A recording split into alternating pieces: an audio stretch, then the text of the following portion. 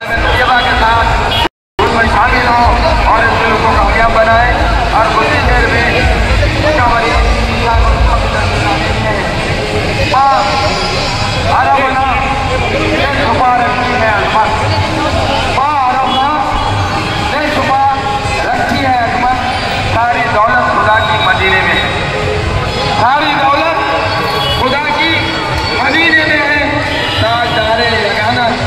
सीने में है जिनके खातिर बनाए गए दो जहां जिनके खातिर